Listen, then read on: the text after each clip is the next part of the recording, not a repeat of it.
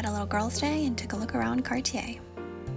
First up, the Clash collection. The Clash line has really grown on me, especially that flat collar style necklace. Right now, that one's out of the budget, so instead I tried on some rings. The Clash line is still mostly rose gold, although they did come out with a double thickness ring in yellow gold, so maybe there's plans to do more in yellow gold.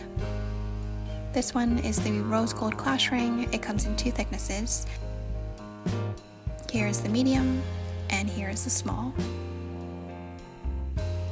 They're actually quite similar, so if you were just wearing one ring at a distance, I think it'd be really hard to tell which one it was.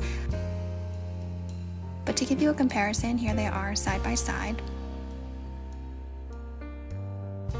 Personally, I liked the medium more. I think it allows you to see the clash design a bit better. And then I tried it on in white gold. I definitely prefer the white. Next up, the Juste un Clou collection. Again, I tried on some rings. I feel like the plain Juste un Clou ring is everywhere, but I don't see the other variations that often, so naturally I wanted to try them on. On the right, it's the white gold Juste un Clou with diamonds in the regular thickness. I actually really love how bold and chunky it is, with just the right amount of sparkle. And then on the left, it's the smaller version of the ring, so it's actually thinner. This one is fully blinged out with pave diamonds, quite a fun look.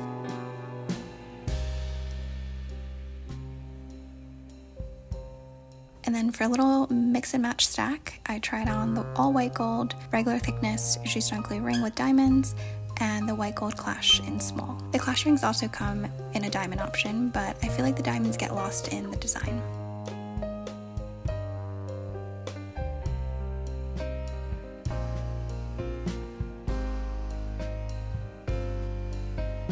And then the Trinity.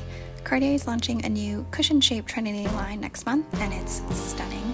There's rings and necklaces, all with the classic interlocking white, yellow, and rose gold rings, but this time with a bit of a square geometric edge. What really caught my eye though are the earrings. They're chunky statement hoops with a pave diamond white gold center. The closure was kind of interesting, it's a very short post back.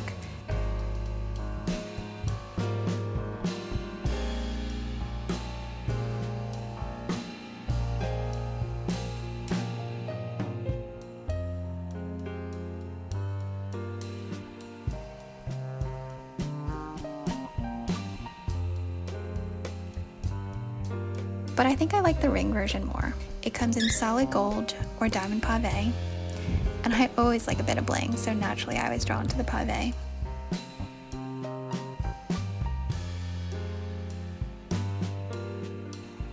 The tricky thing with rings is figuring out what finger to wear it on and what size. They never have my size in stores, so it's always a little tricky, but the Trinity rings come in so many different options. Classic, thin, even thinner, tiny diamond studs, and naturally a full pave version.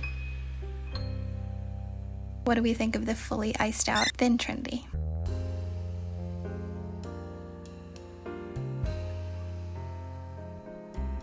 For something a little different, there's even black ceramic.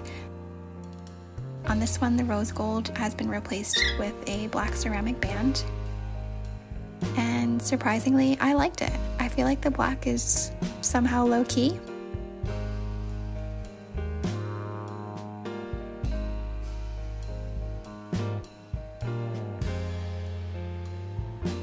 I'm torn between these two.